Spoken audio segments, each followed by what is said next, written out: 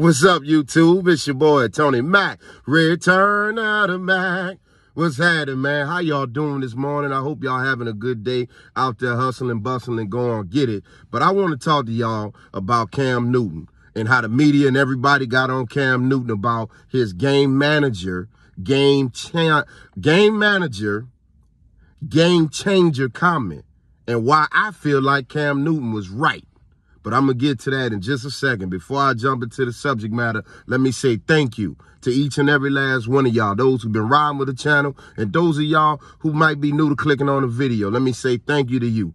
Thank you, thank you, thank you, because y'all could have been doing anything else in the world, but you took time out your day, time out your important life to jump on this video to click on and see what I got to say, because everybody know this channel, Tony Mack, gonna keep it real, but he gonna show love.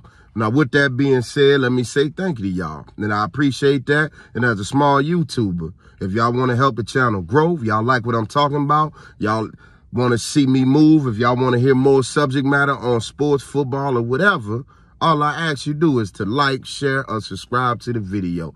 Now, with that being said, let's jump into it.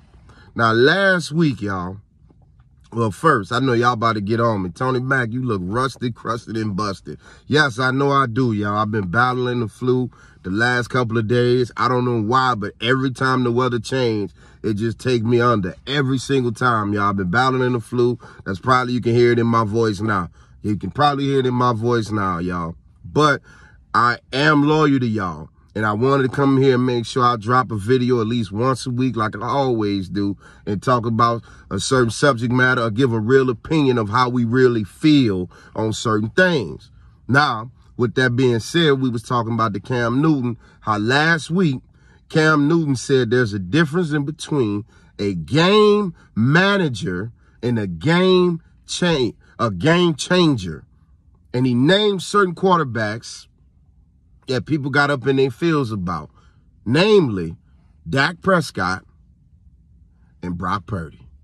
Now, y'all see the big 49er jacket, so y'all know I'm not here to throw Brock Purdy under the bus. Now, Dak Prescott, we can roll the bus over him and go roll it backwards and roll it back over and roll it backwards. As long as he still got the Dallas Cowboys star on his helmet, we ain't got no love over here for him. But we got to be honest about certain things. Dak Prescott this year is playing like an MVP quarterback, at least prior to Sunday's game. At least prior to Sunday's game, right? Now, here's the interesting part. When Cam Newton came out there and said what he said about this person being a game manager, I think the most interesting part to me is how people felt like Cam Newton didn't have a right to say what he said. Cam Newton, the guy that won a Heisman, an MVP, led a team to a Super Bowl, a guy that uh, has the rookie record for the most passing yards by a rookie quarterback. This guy, Cam Newton, a guy, and not only did he beat you through the air, he beat you with his legs as well. Now, the only thing people could question about Cam Newton's game was maybe his maturity on the field because it looks like when he was winning or he did well, Cam Newton, you know, he ain't had no problem showboating, Superman and standing in, dancing in the end zone. But when he lost, he wouldn't face up to the same critics when he was trying to, like how he was shine when he win. When they lose, he was he was ghost, i.e. that Super Bowl. When they lost that Super Bowl to the Denver Broncos, Cam Newton didn't want to stay for the for the uh, press conference. Remember that. Now, if you're going to judge his game, you could talk about that. However, judging his talent and what he did on the field and his it and his uh, dedication to winning, you can't question that about Cam. You can't. And for folks out there that's sitting up there, um, Cam only hating because he ain't in the league, he ain't this guy and all that. Bro, y'all really think that the league is operating fair, 100% fair? Y'all really think the NFL is really operating 100% fair? Sure, maybe you can say there are 32 quarterbacks better than Cam Newton, but are you going to tell me it's 64? A league where Zach Wilson is a starting quarterback.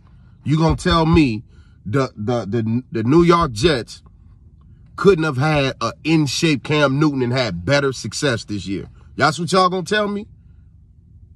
I believe the bull crap if you sell it right, but you can't sell that one right to me. I'm going to keep it real with you. You know what I'm saying? But I think people was up in arm, at least 49er fans. We was mad because he said Brock Purdy was a game manager. He said Brock Purdy was a game manager. Us fellow 49er fans, we wasn't hearing that. Even myself, I questioned Brock Purdy's ability. Y'all can watch my old video where I said he was average at best. Yeah, I said it about Brock, but I can admit I was wrong. I can admit that I was wrong. Brock Purdy, since me saying that, is showing me he's more elite in every game of the way. Every game ever since that, uh, I only call him that because we lost that, that Cleveland Browns game because he couldn't move the ball without Deebo Samuels. But every game after that, I have seen improvement in Brock. Even the ones we lost with Minnesota and Cincinnati, I have seen an improvement with Brock Purdy. However, he also called another quarterback, Dak Prescott, a game manager.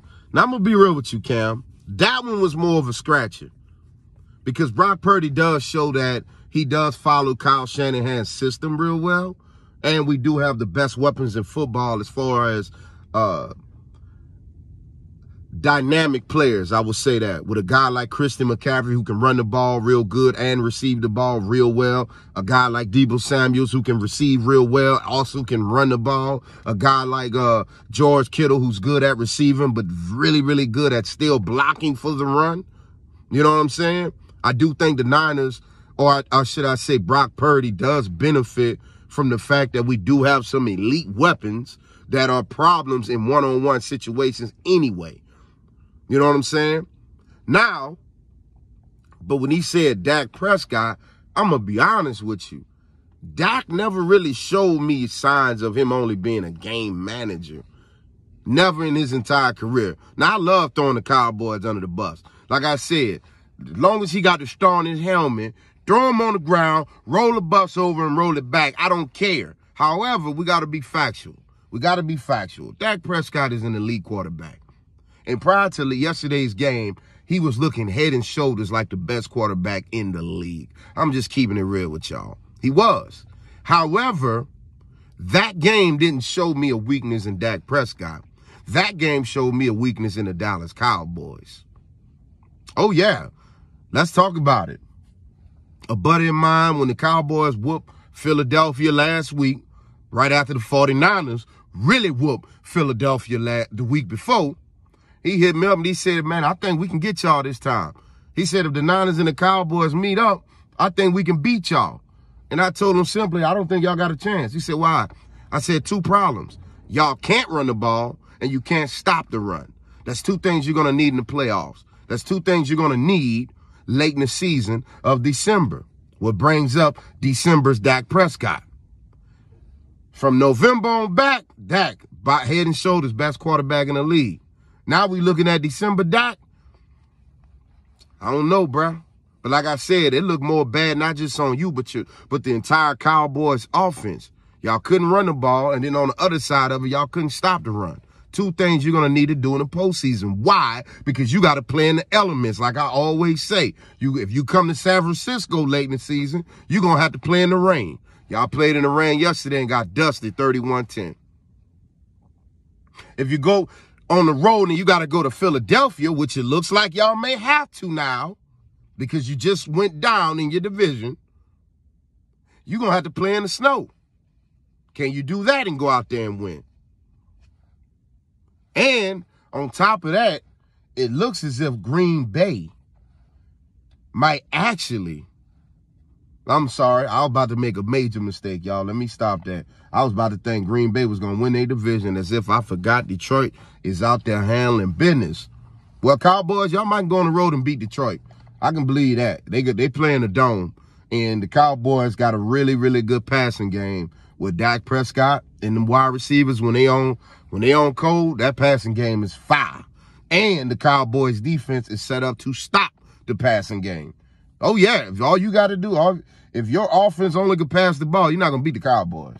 However, if you can run that thing down their throat, hmm, you ain't gotta worry about nothing. So that's why I say um, the Dallas Cowboys is more or less exposed. But now people are gonna say that Dak Prescott is a game manager because of his numbers yesterday. I disagree. I still think Dak Prescott is an elite quarterback. I just think it shows that the Cowboys offense need to be a little bit more dynamic because you're not going to be able to play, i.e. the San Francisco 49ers and beat us if you can't run the ball. You can't run the ball. You can't stop the run. Hmm.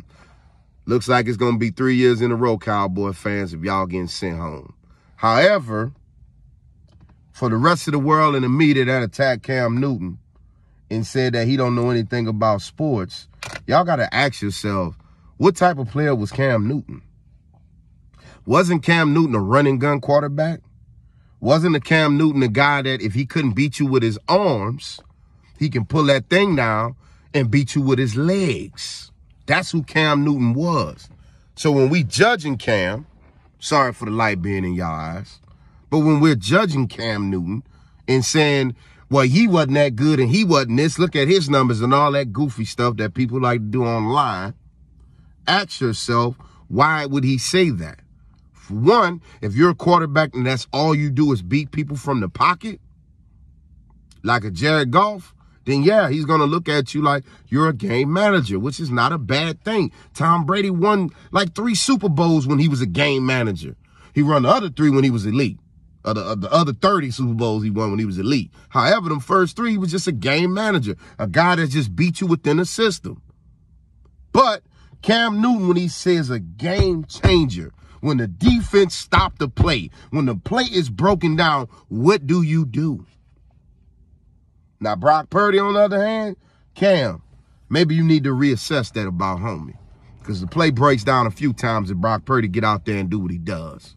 Now, when it come to Dak Prescott, same thing. But the other guys, I think he hit it right on the head. Anyway, y'all, Tony Mack, where it's always real, but it's always love. Thank y'all for tuning in. Peace.